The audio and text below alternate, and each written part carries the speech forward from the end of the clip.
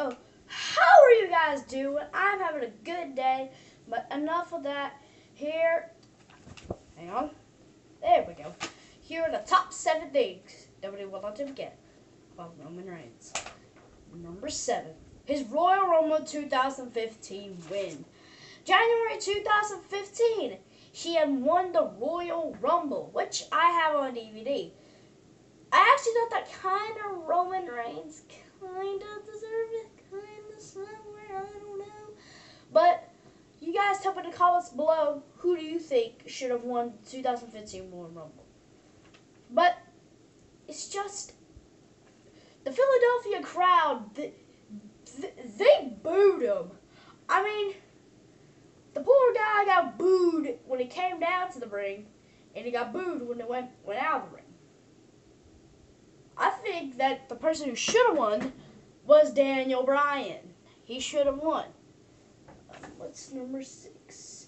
Number six. Watch TLC 2014 to know this. His mic skills. Next. That's all I gotta say. Number five, the 2014 Slammy Awards. 2014 Slammy Awards.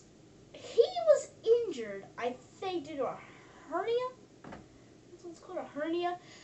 But he was the superstar of the year, which I thought he kind of deserved. He was good in 2014. Mm-hmm. So yeah, number four, his his FCW alter ego Leakee, the Leakee, whatever you say. I think I was gonna call Leakee. I don't care. Um, back then, um, he was Le- Leakee. Now is Roman Reigns, and forever, Joe Anoa'i. I think that's how you say it.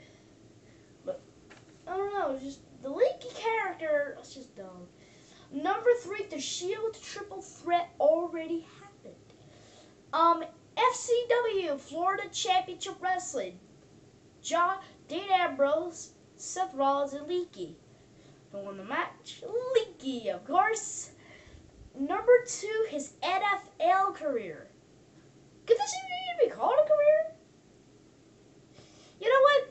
Another WWE, two WWE superstars that I know have played football. Roman Reigns, Brock Lesnar, and John Cena. And if you got, if you get the DVD John Cena my life, um, he plays football. He he plays football.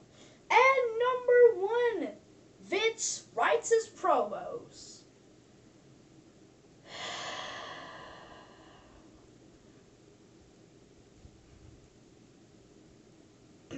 Thank you guys for watching, and I will see you all back next time.